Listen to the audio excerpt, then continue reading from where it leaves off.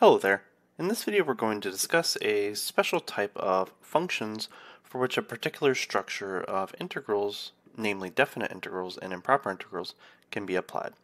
So we're going to uh, first assume that f is a differentiable function on the right hand side of the real line, and we're going to assume that the limit as x approaches infinity of the function is a finite number, for example e to the minus x.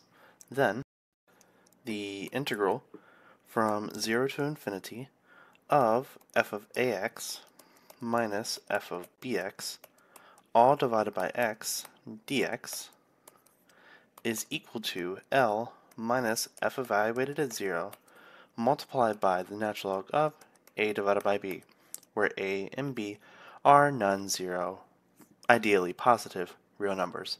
So we're going to prove this theorem uh, associated with these types of functions and integrals of this form, which are sometimes referred to as Frullani integrals.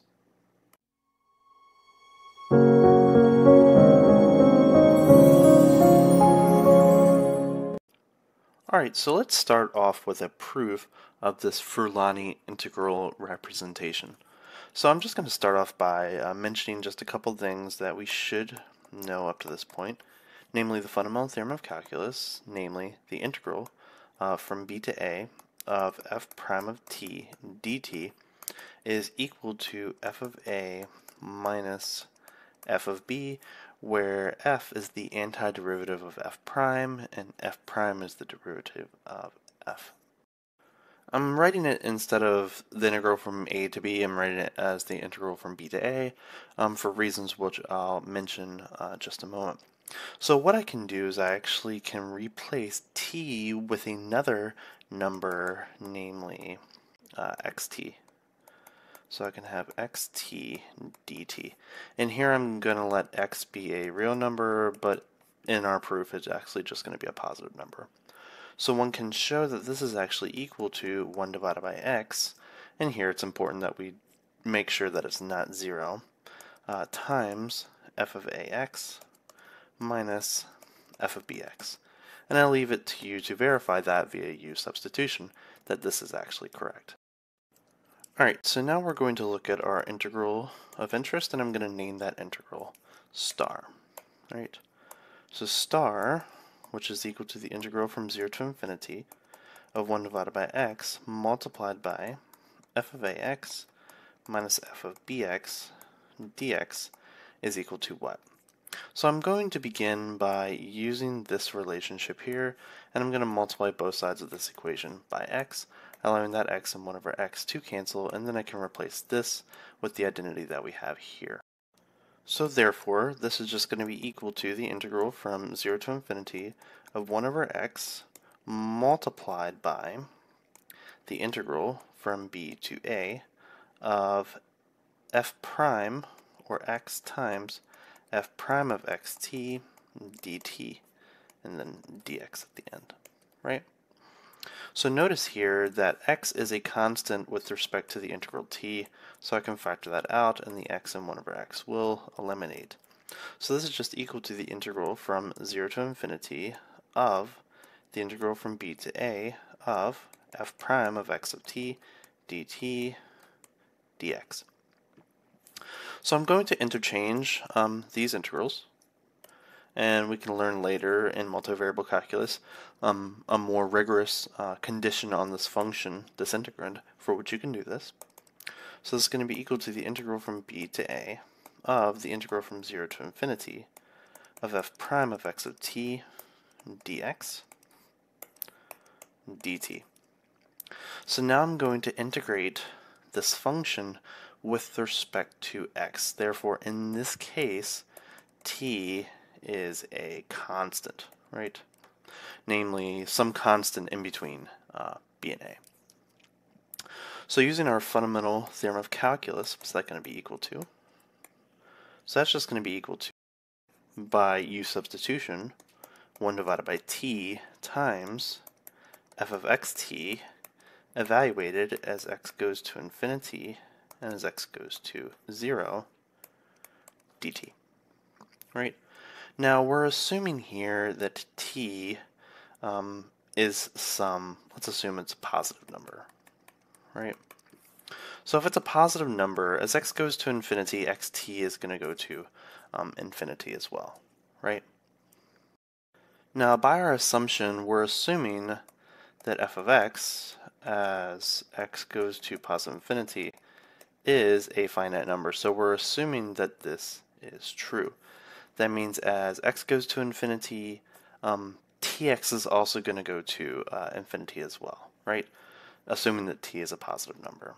So if this is the case, then this is going to be equal to the integral from b to a of 1 over t times L, so that's the limit as x goes to infinity of f of xt, and as x goes to 0, it doesn't matter whether t is positive, negative, or 0, um, t times 0 is going to be 0, and then we're going to have f of 0. Right? dt. Now keep in mind L is a finite number, therefore this is a finite number, so I can factor that out. Right?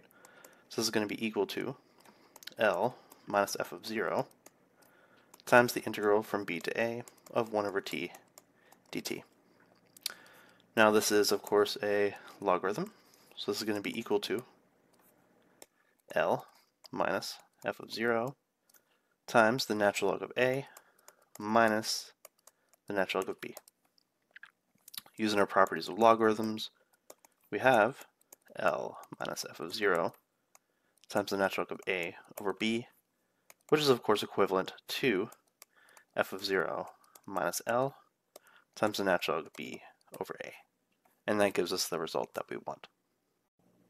So now, let's work through a couple examples to sort of see how these Frullani integrals actually go out when you actually want to use this relationship. So example 1. Suppose we want to find the integral from 0 to infinity of e to the minus 5x minus e to the minus 7x all over x dx. And the Frullani integrals are really useful in case you don't know how to actually do the antiderivative of whatever function you're working with, right? All right, so we're going to take uh, f of x to be equal to e to the minus x. So if this is the case, uh, clearly we see that the limit as x approaches infinity of e to the minus x is going to be equal to 0, which is of course finite, and also f of 0 is going to be equal to e to the 0, which is 1, right? So both f of 0 and the limit exist, and we know that exponential functions are differentiable on the entire real line, moreover 0 to infinity. Also, uh, now I'm going to be focusing on these pieces. So f of 5x is going to be equal to e to the minus 5x, and f of 7x is going to be equal to e to the minus 7x, right? So we're pretty much setting up our um, Frullani integral substitution. So that means the integral from 0 to infinity of e to the minus 5x minus e to the minus 7x all over x is equivalent to the representation, the integral from 0 to infinity of f of 5x minus f of 7x all divided by x dx. So we already know that this is going to be equal to L minus f of 0 times the natural log of b over a, or a over b. Depends on the direction you're coming from. Right? Where a is this number here, and b is this number here. So, substituting everything we have, the limit is going to be equal to 0, f of 0 is going to be 1, and we have the natural log of a over b, which is the natural log of 5 divided by 7. Now, 5 sevenths um, is a positive number um, that is between 0 and 1, so this is of course a negative number, but that negative number can reverse that. So this is actually equal to the natural log of 7 fifths. Alright, so let's look at another example to demonstrate. So let's look at the integral from 0 to infinity of the sinc function of 3x minus the sinc function of 7x all divided by x dx.